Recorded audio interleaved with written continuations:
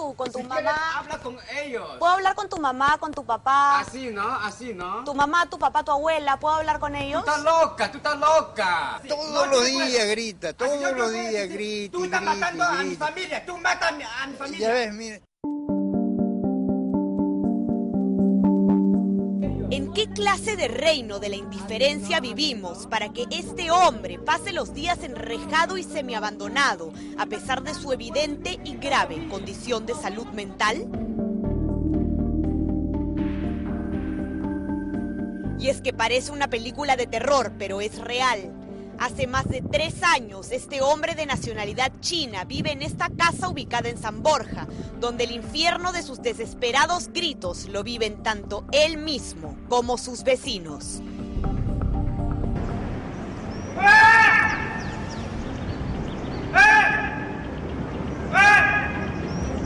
Quienes viven en este vecindario señalan que antes de que este perturbado hombre llegara a esta vivienda, enrejaron cada ventana y puerta.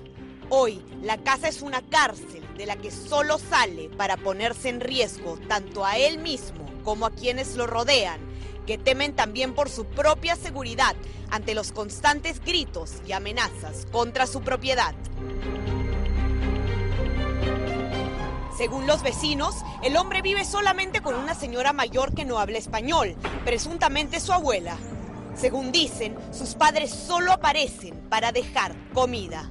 No, lo que nosotros estamos denunciando es un maltrato hacia su persona. Lo que él necesita es un tratamiento y nosotros lo que queremos, y hemos incluso a veces hablado con el papá y le hemos pedido que por favor se haga cargo de su hijo, que si no lo interna en un lugar, al menos que lo lleve y que le den una medicación apropiada. Un tratamiento, tiene que darle un seguimiento, hacerle un seguimiento y con eso que el médico lo vea, pues no, porque tiene que tratar, hay que tratarlo. Durante tres años y ante la ausencia de alguien que se haga cargo del joven, los vecinos han pedido ayuda incansablemente a las autoridades.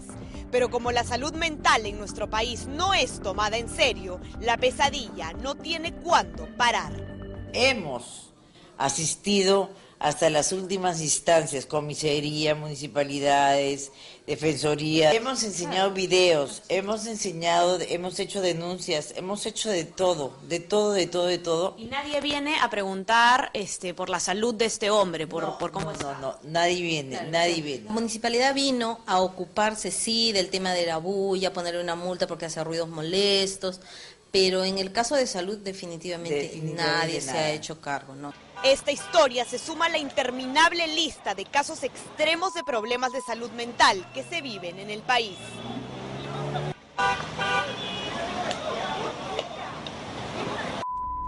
Y como si fuera un tema de mínima importancia, el sistema de salud mental en el Perú es aún precario.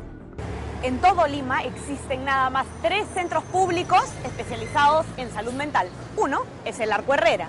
Además, en todo el Perú existen solamente 800 médicos psiquiatras entre públicos y privados. Esto es, un psiquiatra por cada 40.000 habitantes. Pero la ignorancia y poca atención que existen en torno a la salud mental en el país no solamente ha generado esta larga lista de casos extremos, sino que ha traído consigo diversos mitos y prejuicios. El más importante, la estigmatización de las personas que padecen algún problema de salud mental. ¿Usted cree que cualquier persona que tiene un problema de salud mental es peligrosa? Sí, puede ser peligrosa, ¿Por qué? porque tiene una enfermedad mental. Quizás usted también lo ha pensado, pero en realidad son tan solo una ínfima minoría los casos de personas con trastornos mentales que actúan violentamente. La mayoría de los pacientes eh, eh, con problemas psicóticos, ¿no? con problemas eh, de patologías graves, la mayoría de ellos no son violentos. Más aún, los, los casos de violencia asociados a trastornos psicóticos son más bien la excepción. Además, solemos asociar los problemas de salud mental a estos casos extremos. Sin embargo, no todos los trastornos mentales tienen la misma intensidad y son bastante más comunes de lo que creemos, en especial la depresión y la ansiedad. Los problemas de salud mental y trastornos mentales son frecuentes y más visibles cada vez más en nuestro país. Uno de cada dos peruanos y peruanas va a sufrir algún problema de salud mental a lo largo de su vida, pero ocho de cada diez no llega a acceder o acudir a tratamiento oportuno. La semana pasada, Avi Ágreda, de 22 años, fue brutalmente atacada por Carlos Javier Hualpa, quien la prendió en fuego en un bus de transporte público. Atribuyeron el terrorífico hecho a un asunto de salud mental, lo cual fue rechazado por la Asociación Psiquiátrica Peruana, por considerar que asociar los casos de violencia con la salud mental no solo es erróneo, sino que fortalece la estigmatización contra las personas que padecen trastornos mentales. Es que el tema de la violencia no pasa solamente por un, o sea, no se va a resolver solamente por un tema de salud mental. No, ni siquiera es el principal. Los principales eh, problemas asociados a la violencia son estructurales, son sociales, son económicos, son morales. Cosas como el machismo, etcétera, hacen pues que muchas veces muchos eh, hombres sientan pues que las mujeres son como un objeto, como un, objeto de su propiedad, ¿no? Y eh, lo que hacen es demostraciones de poder. No pretendamos explicar los problemas de la violencia a través de la eh, psiquiatrizando esto. Pero ¿qué pasa en el caso en que el delincuente efectivamente padece un trastorno mental? ¿Podría esta condición salvarlo de ir a prisión? El tema de la inimputabilidad. Muchas personas piensan que porque a un delincuente se le diagnostica un problema de salud mental, ya no va a poder ir a prisión. Esto no es así en todos los casos.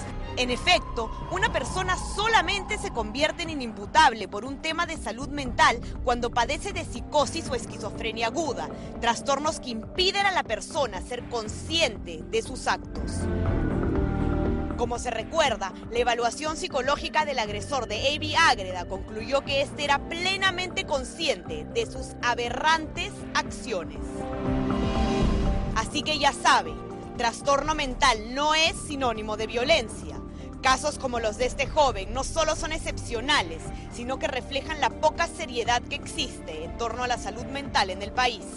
Pero sobre todo, no tenga miedo de acudir a un especialista en caso no se sienta bien no se deje llevar por prejuicios y tabúes.